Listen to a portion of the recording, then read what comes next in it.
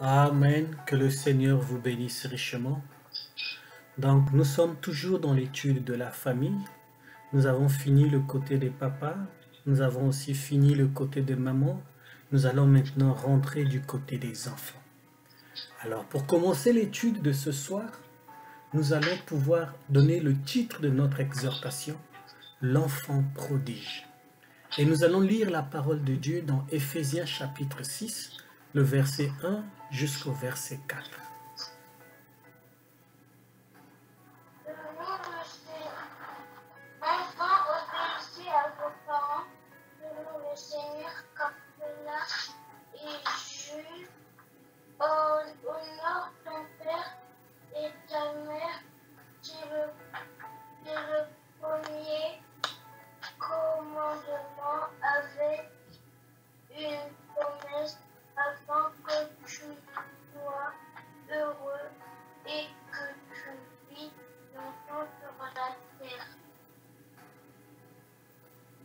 Amen.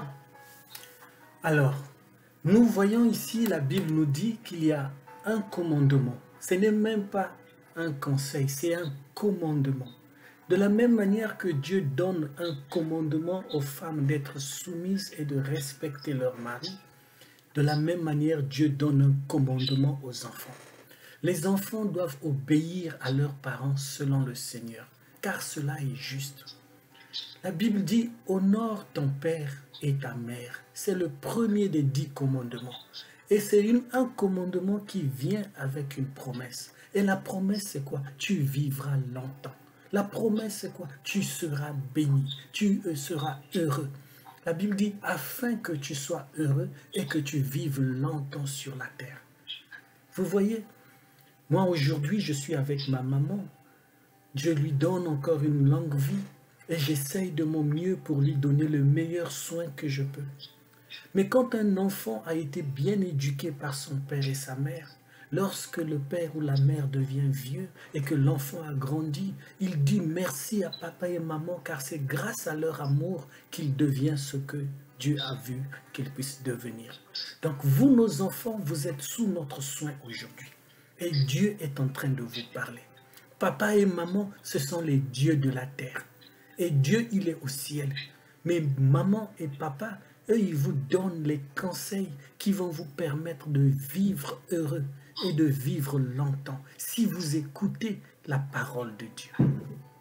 Les parents que Dieu vous a donnés, ils sont là pour fixer des limites dans votre vie.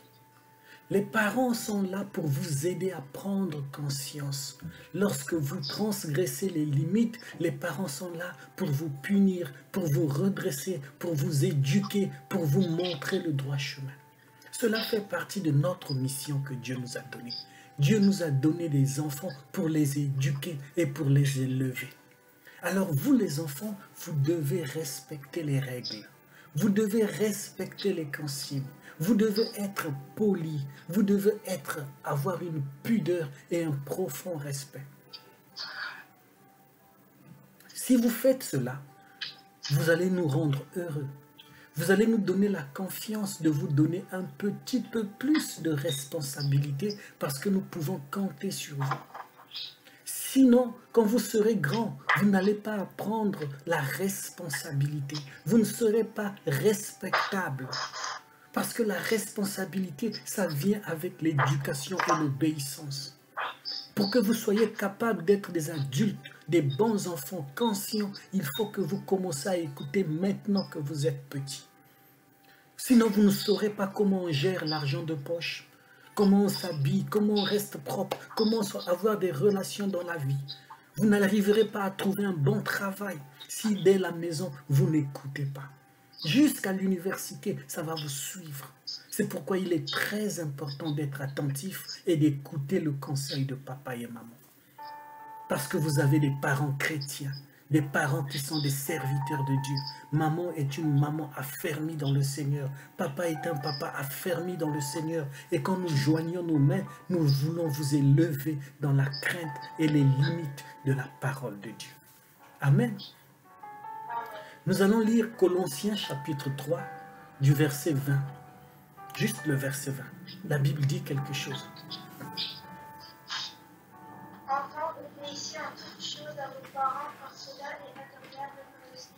Voilà. Enfants, obéissez en toutes choses à vos parents, car cela est agréable dans le Seigneur.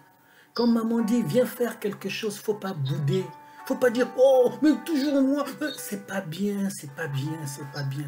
Un enfant, il doit obéir à ses parents. Un enfant, il doit être accroché à vouloir aider ses parents. Car papa et maman sont en train de construire une famille, une maison dans laquelle vous allez grandir avec toute la bénédiction.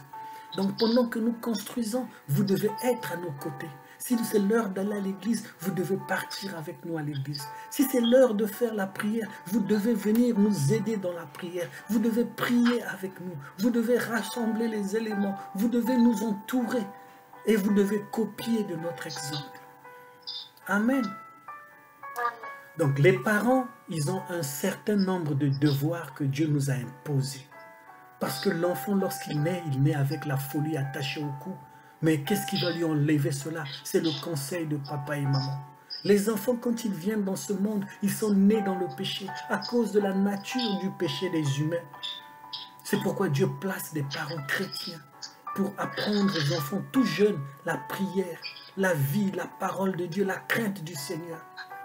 Donc nous, notre devoir, c'est de vous élever, c'est de vous éduquer, c'est de vous protéger, c'est de vous nourrir, c'est de vous habiller, c'est de vous soigner, c'est de vous conseiller, c'est de vous aider dans vos devoirs de l'école, dans les mesures du possible, c'est de vous accompagner dans la vie. Nous, les parents, nous avons le devoir de vous enseigner la voie de Dieu que vous devez suivre. Si nous ne le faisons pas, nous avons échoué notre mission. Et nous n'aurons pas produit des enfants légitimes, mais des voyous de demain. Mais à Dieu ne plaise, parce que Dieu nous a fait la grâce. Dans notre maison, nous avons instauré l'autel de Dieu et nous vous apprenons tout le conseil que Dieu nous a donné. Nous vous enseignons le bien et le mal. Nous vous enseignons que dans la vie, il y a deux voies la voie du bien et l'autre voie qui est la voie de la tentation. Suivez le droit chemin qui est la voie de la vie. Regardez cette responsabilité. Proverbe nous le rappelle dans Proverbe chapitre 22, verset 6.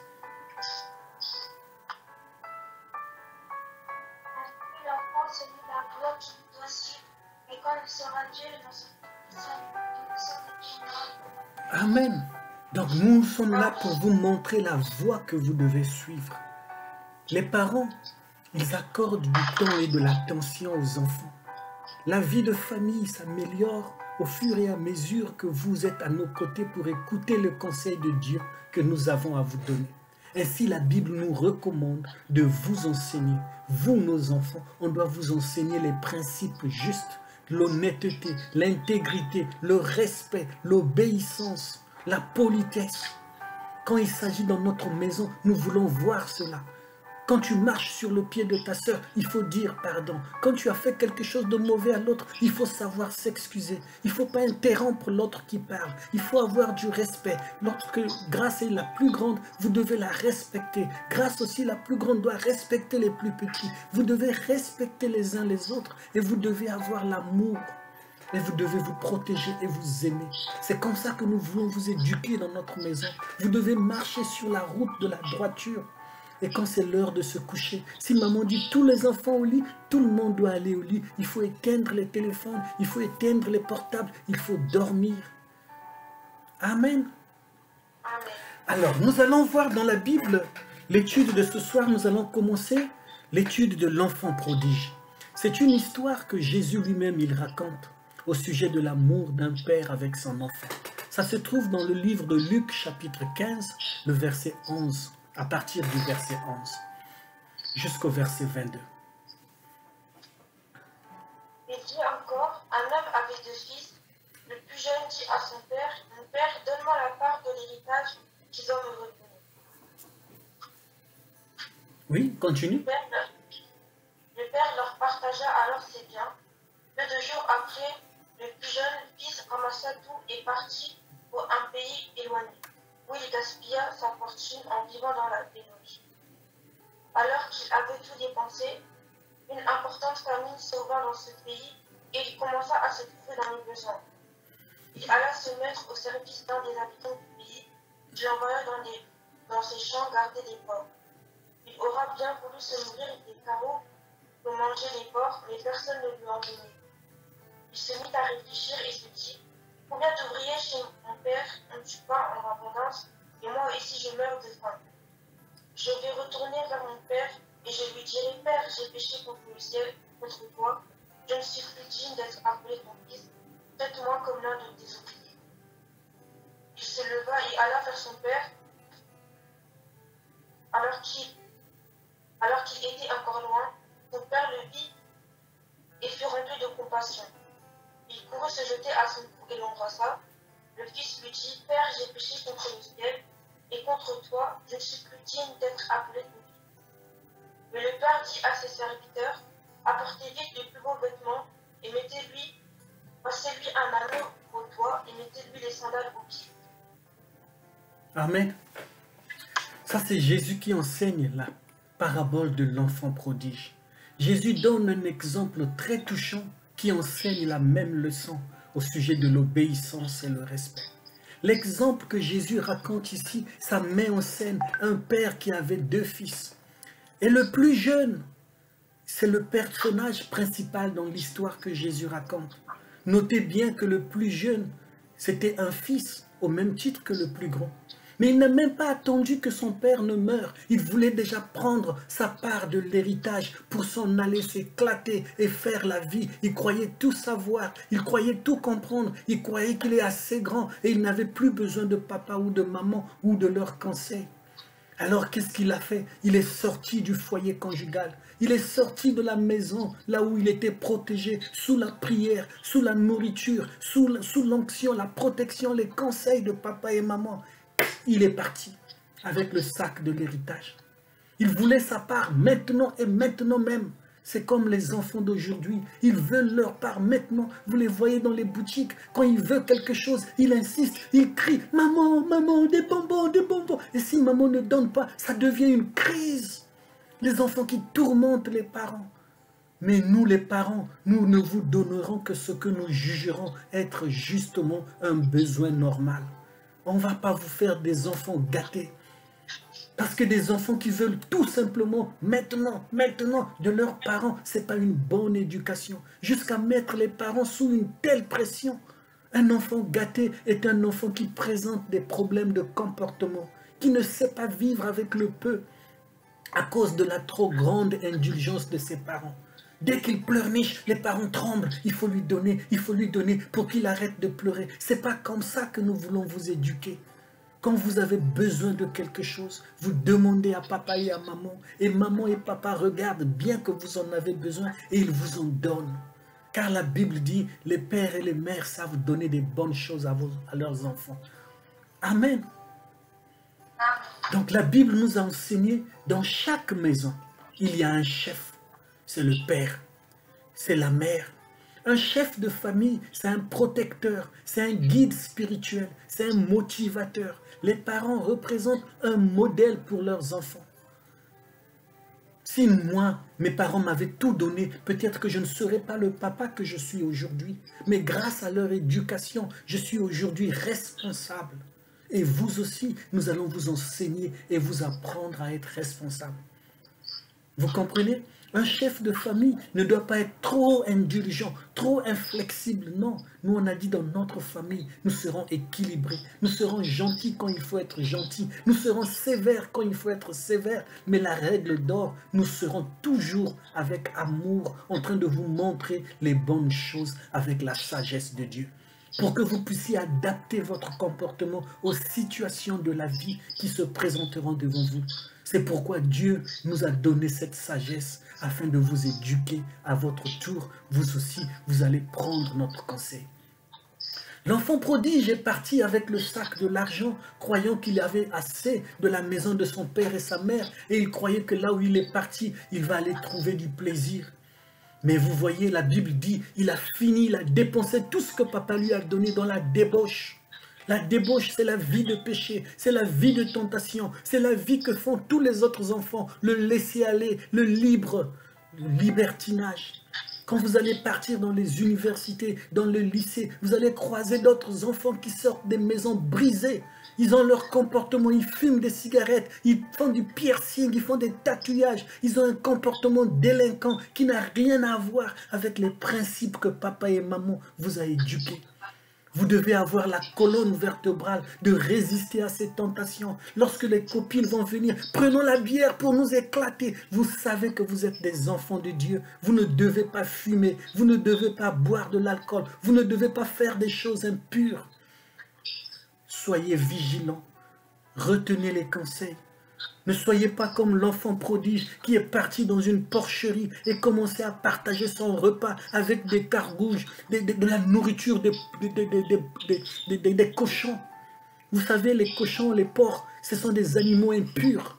Et quand vous allez vous vautrer dans le monde avec le péché, c'est une vie impure. Vous ressemblez à un cochon. Vous puez, vous sentez mauvais aux yeux de Dieu. Et Dieu peut vous détruire en un seul instant. Soyez des enfants modèles des influences, des étendards, des présages, des enfants qu'on va utiliser comme des références de bel exemple. Montrez l'exemple que vous sortez d'une maison chrétienne, d'une maison qui connaît la prière, que votre comportement, que votre conduite là-bas dehors puisse témoigner, même à l'école. Ne soyez pas des enfants qui sont tout le temps punis parce que vous n'écoutez pas la maîtresse, vous dérangez tout, vous faites des bagarres. Non, appliquez la sagesse de Dieu. Maintenez le conseil de Dieu. Car Dieu vous a donné des parents qui vont vous montrer le droit chemin. Et l'enfant prodige, il pensait qu'il avait raison de partir avec le sac de l'argent. Le père était tellement tendre, il lui a donné sa part. Mais il a regardé la rudeur de la vie dehors. La vie est très rude, mes enfants. Si vous ne prenez pas conseil, vous n'allez pas savoir vous relever. Mais cet enfant, Dieu merci, parce qu'il avait en lui quelque chose que les parents avaient déjà semé dans son cœur depuis son tendre enfance. C'était la voix de la raison. Cette voix commençait à lui parler pendant qu'il était là dans cette porcherie. La voix commençait à lui prêcher la condamnation sur son cœur. Il a dit, dans la maison de mon père, il traite bien ses mercenaires, il traite bien ses ouvriers. Il a beaucoup des ouvriers qui mangent, qui dorment. Il a commencé à dire, quand j'étais avec papa et maman, on s'asseyait autour de la table, on avait la prière, il y avait à manger. Papa nous racontait une histoire de la Bible pour aller au lit. Mais aujourd'hui, regarde-moi, dans une porcherie, en train de gaspiller ma vie. Regardez vos camarades qui n'ont pas les parents chrétiens, en train de gaspiller leur jeunesse avec un mégot de cigarette au coin de la bouche, avec des coiffures de délinquants, avec des pantalons de ras de fesses, en train de se laisser tripoter par des garçons. Ils sont devenus une perte pour la société, des délinquants juvéniles. Vous avez épargné à cette fléau, à cette malédiction à cause de la grâce de Dieu. C'est pourquoi je dis, mes enfants, écoutez nos conseils. Restez sous la chaleur de la famille et partez-y quand vous avez l'âge normal, avec la sagesse qu'il faut, avec la parole de Dieu dans le cœur et le baptême du Saint-Esprit pour résister à ces esprits-là, les esprits-là dans l'école, dans l'université ou quand vous serez plus grand. Vous allez être des hommes responsables et respectables dans la société. Amen. Et la seule manière pour réussir, ça sera par la prière. C'est pourquoi je vais lire cette dernière citation alors que nous allons prier. C'est dans le message, la révélation. Numéro 1, page 17. Frère Branham dit, ne laissez rien vous empêcher de prier. Alors que nous allons avancer nous allons déterrer la vie de ces grands hommes de la Bible qui ont sacrifié toute leur vie dans le passé. Vous verrez combien peu vous, vous avez fait. Cela me rend honteux parfois de voir comment tout nous est si facile alors que tout était si difficile pour les anciens dans la parole. Que sera notre témoignage à leur côté? Il faut que tu sois si bien pour nous tous. Et moi, je vous enseigne la prière. La première chose que je veux vous enseigner, mes enfants, c'est la vie de prière. Même quand papa ne sera plus, même quand maman ne sera plus, quand vous serez seul dans une situation difficile, rappelez-vous, la distance pour arriver jusqu'à Jésus, c'est la distance de vos genoux jusqu'à tomber à terre dans la prière pour murmurer son nom afin qu'il vienne à votre secours. Quand tu te sentiras faible, quand tu te sentiras que tu n'as plus la force de résister, quand tu n'auras plus de soutien, rappelez-vous que Dieu entend les prières même des petits-enfants. Fléchissez vos genoux, baissez votre tête et murmurez un nom, le nom de Jésus dans la prière. Il viendra à votre secours. Que le Seigneur vous bénisse richement. Alors, ma famille, nous sommes toujours sur l'éducation de la famille et nous sommes sur le côté des enfants. Hier, nous avons commencé l'histoire de l'enfant prodige qui est dans Luc chapitre 15. Nous allons continuer un peu de cela aujourd'hui. Nous allons lire la parole de Dieu dans Deutéronome chapitre 6, versets 6 à 7.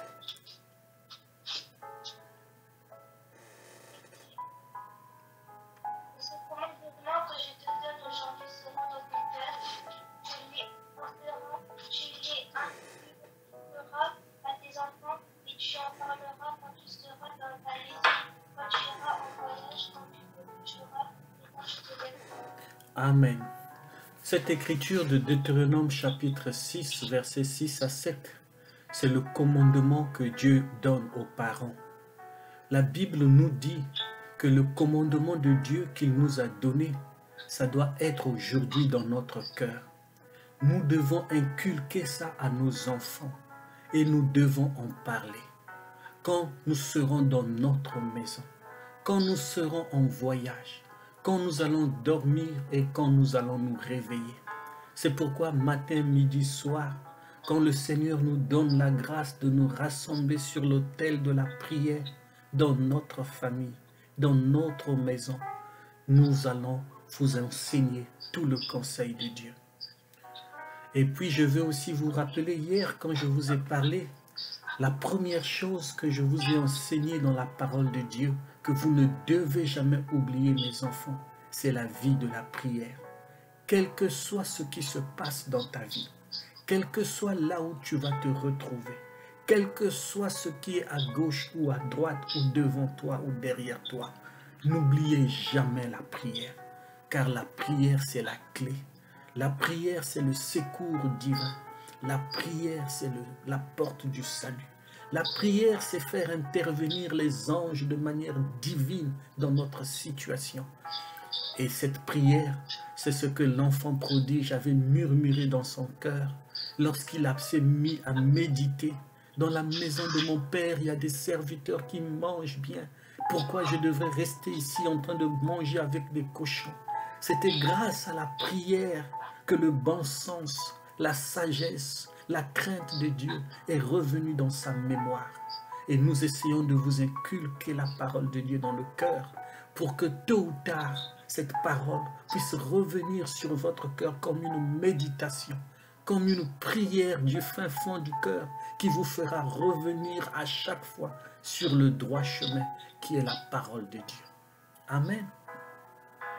Ce que je veux que vous puissiez retenir, mes enfants, chaque enfant de Dieu qui vient à Dieu, il doit passer par des épreuves. Et il y a plusieurs épreuves dans la vie. Mais il y a une épreuve qui est un test personnel que vous allez être éprouvé sur votre foi. Cette épreuve, c'est l'épreuve de la tentation. L'épreuve de se laisser entraîner par le tourbillon des passions à cause du monde extérieur. L'âge des passions qui expose le jeune enfant aux séductions du monde. Vous n'avez pas tout goûté. Vous n'avez pas besoin de tout goûter dans le monde pour avoir l'expérience. Vous avez juste besoin d'entendre, d'écouter la parole de Dieu qui circoncie votre cœur afin d'en tirer sagesse et gagner l'expérience de la sagesse de Dieu. Peut-être qu'un jour vous irez au lycée. Un jour, vous irez à l'université. Un jour, vous irez dans les grands collèges dans votre vie scolaire, académique. Quelquefois, toutes ces vocations, ça vous éloignera de la maison. Ça vous éloignera du foyer. Ça vous éloignera de notre famille. Vous serez peut-être dans un pays éloigné en train de suivre une formation. C'est l'image de cet enfant qui est parti avec le sac de l'argent. Il est parti avec la bénédiction de son père. Il est parti avec sa part de l'héritage. Mais seulement, il était en train d'être confronté à la réalité de la vie, à la tentation de la jeunesse, aux passions, à la débauche, à la vie de l'impudicité et de la souillure. Le monde que vous voyez dehors, c'est un monde qui n'a rien à offrir pour un enfant de Dieu. C'est pourquoi Dieu l'a condamné et il nous a dit dans sa parole, n'aimez pas le monde, ni les choses qui sont dans le monde. Si quelqu'un aime le monde, l'amour de Dieu n'est point en lui. Et les choses du monde, c'est l'envie, c'est l'orgueil, c'est la mode, c'est la souillure, c'est l'impudicité, c'est la débauche, c'est tout ce dérèglement qui est en train d'influencer les jeunes d'aujourd'hui, qui deviennent rebelles à leurs parents. Vous voyez, les camarades, c'est aussi une autre vague d'influence qui vient sur l'âge de votre jeunesse et d'adolescence, qui viendront faire pression sur vous.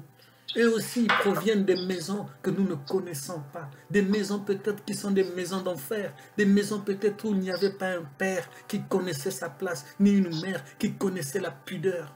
Ces enfants-là, une fois relâchés dans la nature, ils seront vos camarades à l'école, ils s'asseilleront sur le même banc avec vous, ils seront vos collègues dans les compagnies, dans le travail. Ils auront besoin d'expérimenter leur relâchement et leur liberté.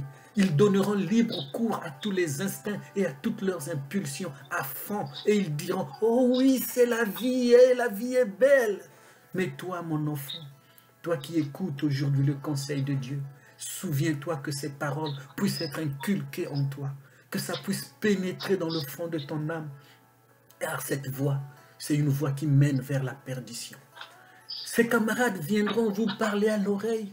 Ils vous feront des propositions, des tentations alléchantes pour vous dire, mais ça, ce n'est pas si mal, on va juste avoir un beau temps, s'éclater entre collègues, entre amis, on aura juste une petite fête de piscine, on va juste, ils vont vous pousser et parce que vous êtes pieux, parce que vous avez la pudeur en vous, parce que vous avez la sainteté, la crainte de Dieu, vous n'allez pas vouloir, mais ils vont revenir à chaque fois, comme la femme de Botiphar qui venait à Joseph tout le temps pour lui dire, mais viens, couche avec moi, couche avec moi. Et Joseph a dit, mais non, mon maître ne m'a rien fait, tu es la femme de quelqu'un d'autre, pourquoi tu m'importunes? Il a fui.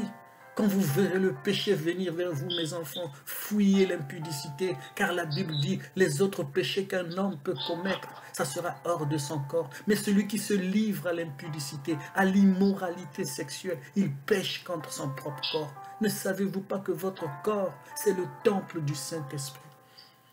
Je vous avertis, mes enfants, l'autre voie que nous ne vous avons pas enseignée, la voie de la tentation, la voie charnelle qui fait libre cours à tous les désirs et les passions. Ils vont vous dire, essayons de descendre un peu, mais cette voie vous fera descendre dans l'abîme. Ça vous fera descendre dans la perdition. Ça vous conduira à une vie de pécheresse. Ça vous fera savourer toutes les abominations amères de l'impureté du péché que Dieu a dit dans sa parole. N'y touchez pas. Ne touchez pas aux choses qui sont sales. Sortez du milieu d'eux, mes enfants. Ne touchez pas aux choses qui sont impures. C'est pourquoi je vous donne le conseil avec tout mon cœur, avec tout l'amour de Dieu dans mon cœur. Est-ce que quelqu'un peut lire pour nous 2 Timothée chapitre 3, verset 15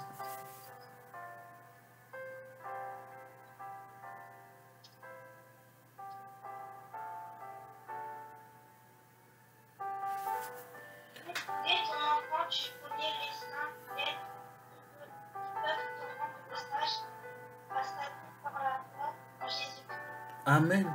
C'est pourquoi, à votre tendre âge d'adolescence et d'enfance, nous vous enseignons les saintes lettres de la parole de Dieu. Ces paroles que je vous prononce sont les paroles du salut. Ça va délivrer votre âme. Ça vous fera échapper du filet de l'oiseleur. La foi qui est relative à Jésus-Christ. La sémence de Dieu est déjà en vous. Ça va réveiller, ça va se réveiller et ça va se révéler les souvenirs de notre maison, de ces leçons de famille, de cette vie de prière, ça vous aidera un jour à prendre des bonnes résolutions, à prendre des bonnes décisions, à résister à la tentation. C'est pourquoi je vous conseille, mes enfants, recevez la sagesse de Dieu. Car cette sagesse, vous devez la lier à votre cou et dans votre cœur, elle vous conduira dans toute la vie. Et gardez votre cœur plus que tout. Est-ce que quelqu'un peut lire Proverbe chapitre 4, verset 23.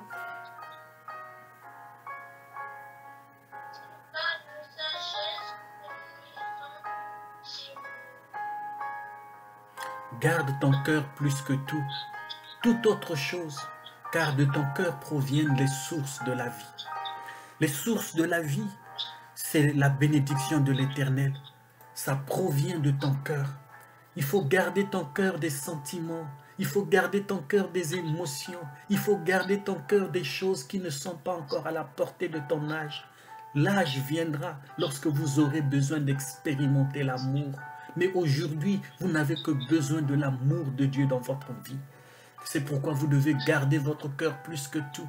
Ne donnez pas votre cœur à un garçon aujourd'hui. Ne donnez pas votre cœur à une jeune fille. Sinon, cela vous fera aller trop rapidement sur le chemin de la vie et ça va vous perturber psychologiquement. Gardez votre cœur plus que tout. Confiez votre cœur au Seigneur. Consacrez-lui votre jeunesse. Dites au Seigneur, me voici jeune et adolescent. Je viens à toi et je te donne mon cœur pour que le Seigneur puisse me faire habiter en vous la circoncision qui est le baptême du Saint-Esprit. Quelqu'un peut lire Proverbe chapitre 22, verset 6 Et Dieu que l'enfant n'a la voie qu'il va suivre, même quand il sera vieux, il ne s'en écartera pas. Amen. Et voilà le travail que maman et moi, nous sommes en train de faire ce matin. Pour vous, mes enfants, nous sommes en train de vous instruire selon la voie que vous devez suivre dans la vie. Comme ça, quand vous serez grand, vous n'allez pas vous en détourner. Et je vais vous dire la vérité. Une chose qui n'a pas changé depuis des millions d'années dans ce monde, c'est le péché. Le péché, il continue à influencer toute l'humanité et tous les êtres humains. C'est pourquoi dans notre famille, nous avons choisi la devise de la maison de Josué. Nous allons dire, moi et ma maison, nous servirons l'Éternel. Et quand je dis moi et ma maison, c'est moi avec ma femme et mes enfants. Nous devons le dire tous ensemble, moi et ma maison, nous servirons l'Éternel. Nous ferons de notre mieux de demeurer dans la parole de Dieu et de vous enseigner ce que la Bible dit. Il y a une autre chose que je vais ajouter ce matin. Ce sont les valeurs sexuelles. Dans ce monde, cela a changé. Les valeurs de la virginité avant le mariage a perdu son sens. On n'éduque plus les enfants dans ce sens-là. Alors qu'autrefois, des nombreuses valeurs qui étaient vraiment des perles, qui étaient des, des, moyens pour célébrer la louange, l'honneur, la fierté à cause de la parole et la crainte de Dieu. Aujourd'hui, le monde a tourné le dos vers cela. Ils ont abandonné toutes ces choses, y compris celles, les valeurs qui faisaient la culture chrétienne. Même parmi les soi-disant pentecôtistes, on ne trouve plus la pudeur. Mais pour vous, mes enfants, vous, mes filles, selon le conseil de Dieu, selon la lumière des Écritures, je vais vous dire, veillez, veillez à la vertu que Dieu vous a donnée. C'est la vertu de la virginité. Veillez à ce que vous restez vierge jusqu'à votre mariage. Ce sera pour vous-même une très bonne chose, dit l'Éternel. Et je vous enseigne d'honorer, de, vivre de manière honorable, de mener une vie digne de l'Évangile. Dieu le veut ainsi de tout votre cœur. Ce sera aussi la fierté pour la maison d'où vous sortez, le témoignage de votre culture et de votre éducation. Ça témoignera aussi que vous sortez d'une maison qui est une bonne maison. Et un jour, dans votre maison, dans votre propre famille, ça sera la fierté pour votre mari, ça sera la fierté pour votre famille, la fierté pour toute la famille chrétienne, pour tout le nom des enfants de Dieu. Ça sera un honneur à l'éternel. Voilà le conseil que papa et maman vous donnent aujourd'hui. Amen. Et pour toi, mon fils, le prince, je t'enseigne de ne pas oublier la parole de Dieu. Quand tu seras grand, tu seras beau, mignon, élégant et tout, tu dois te rappeler que si tu épouses une femme, tu dois aimer cette femme. Et tu dois aimer la parole de Dieu. Et pour nous tous aujourd'hui, nous avons compris dans l'étude de la famille que le divorce est devenu tellement populaire dans notre société, mais ce n'est pas la volonté de Dieu. Alors, mes enfants, mes filles, mon fils, soyez des enfants exemplaires. Ne soyez pas insolentes, car cela ne fera que la honte de vos parents. Et si un jour vous allez être à l'école, à l'université, dans vos propres maisons, enseignez ce que je vous enseigne à vos enfants. Et votre modèle et votre exemple dans la Bible. Et n'oubliez pas la prière en famille. La famille qui prie ensemble, c'est celle qui reste ensemble. Amen. Alors, nous allons revenir sur l'histoire de l'enfant prodige et nous allons regarder un peu ce qui s'est passé lorsque cet enfant a pris la résolution de rentrer à la maison. Comment son père va-t-il réagir? Va-t-il se mettre en colère et lui reprocher d'avoir pris une décision insensée et folle en quittant la maison. Qu'est-ce qu'il croyait connaître? Qu'est-ce qu'il avait? Qu'est-ce qu'il a pris la tête? Va-t-il se montrer indifférent? Va-t-il se montrer froid à son égard? Va-t-il se fâcher pour prendre la chicotte et taper son enfant? Non, ça c'est pas l'amour d'un père. L'amour d'un père, c'est celui qui ouvre les bras et qui se penche pour reprendre son enfant. Et Jésus nous décrit les sentiments et la réaction du Père lorsqu'il a vu venir son Fils. Depuis à distance, une bonne distance, son Père l'a aperçu. Pourquoi le Père l'a aperçu? Mais parce que tous les jours, quand il finissait sa prière, il partait devant le portail pour regarder vers la plaine, pour voir si son fils était dans le retour. Et mes enfants, je vous dis, chaque fois que vous sortez de la maison, papa et maman auront les genoux par terre en train de prier afin que Dieu veille sur vous. C'est pourquoi le père était tous les jours en train de regarder au loin si son enfant ne revenait pas. Et ce jour-là, Dieu a exaucé sa prière. C'était grâce à la prière de papa et maman que l'enfant a pu revenir à la maison. C'était grâce à la vie de prière qui était inculquée dans l'enfant qu'il est revenu dans le bon sens et sur le droit chemin. Et lorsqu'il a aperçu son fils, alors qu'il était encore très loin, qu'est-ce qu'il a fait? Il a couru à sa rencontre pour l'embrasser. Tu peux regarder ça, Luc 15, verset 20.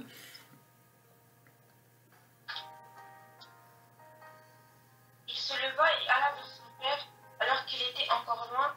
Son père le vit et fit rempli de compassion. Il courut se jeter à son cou et l'embrassa. Voilà la bienvenue lorsqu'un enfant revient sur le droit chemin. Le ciel est dans la joie, les anges se réjouissent, l'Éternel fait la fête lorsqu'une âme se répand. Lorsque vous prenez la décision de vous faire baptiser, lorsque vous décidez de tourner le dos au monde et de faire face à Jésus et à sa croix, le ciel fait une grande fête. Les anges ont des ordres ils se mettent à vos côtés, ils sentent des clochettes, ils chantent des louanges et des mélodies parce que maintenant un enfant perdu est revenu sur le droit chemin. Ça, c'est notre Père céleste ce qu'il fait. Et c'est de la même manière que les pères terrestres aussi feront. Nous aurons toujours les bras ouverts pour vous accueillir, pour vous embrasser, pour vous retenir avec nous, car nous prions pour vous afin que vous réussissiez dans votre vie. Même si le Père a attendu, il a attendu parler, il a entendu parler de la vie de débauche que son fils a menée. Il a quand même accueilli chaleureusement. Telles sont les réactions et les sentiments du Père. Jésus a manifesté le même état d'esprit lorsque nous nous sommes repentis et nous lui avons donné notre vie. Il était dans la joie. Il ne nous a pas traités durement selon les mauvais comportements ou les mauvaises choses que nous avons faites. Il nous a pardonné. Clairvoyant, le père devine certainement avec l'air triste et abattu. Il regarde dans les yeux de son fils qui se répond. Le fils essayait de parler à papa. Il essayait de balbutier ses lèvres. Papa, papa, tu peux lire le verset 21 Le fils lui dit, Père, j'ai péché contre le ciel et contre toi. Je ne suis plus digne d'être appelé ton fils. Voyez-vous c'est ce que l'enfant a dit en balbutiant les lèvres. Papa, je ne suis plus digne d'être appelé ton fils. Papa, j'ai fait de mauvaises choses dans ma vie. Papa, je suis allé sur le mauvais chemin. Papa, je regrette tout ce que j'ai fait. Mais le Père, il a ordonné à tous ses serviteurs, vite, apportez-moi un beau vêtement. Sonnez les clochettes, invitez les amis, faisons la fête. Mon fils qui était perdu, lis-moi le verset 22 à 24, ma chérie.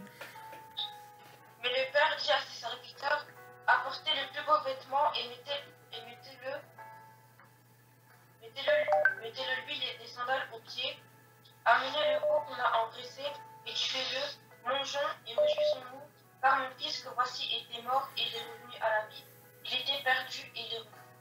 Amen. Et ils ont fait la fête.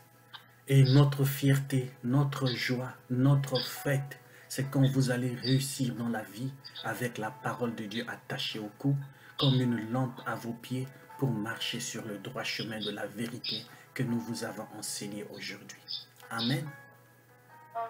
Et le frère Branham dit dans Questions et réponses sur les Hébreux, il a prêché ça le dimanche 6 octobre 1957. Au paragraphe 836, il dit, bon, c'est parce que l'esprit qui est en vous est venu en vous par la nature. Et par la nature provenant d'un rapport sexuel de votre père et votre mère, un désir de l'homme et de la femme, cela a produit un enfant terrestre. Et cet enfant, quand il vient dans le monde, si vous le laissez tout seul et vous ne lui enseignez rien de bon, il suivra le mauvais chemin. Si vous ne lui enseignez ni le bien ni le mal, il suivra le mauvais chemin parce que c'est dans sa nature de se conduire comme cela. Alors vous, aujourd'hui, la Bible dit la folie est attachée au cou de l'enfant, mais c'est la verge de la correction qui le lui en débarrassera. Nous allons être sévères lorsqu'il faut être sévère. Nous allons être flexibles lorsqu'il faut être flexible. Mais nous allons utiliser toute la sagesse de Dieu pour vous aider à vous échapper du jugement. Car il y a un chemin qui mène à la vie. C'est le chemin de Jésus-Christ. Car il a dit, je suis le chemin de la vérité et la vie. Amen. Que Dieu vous bénisse richement.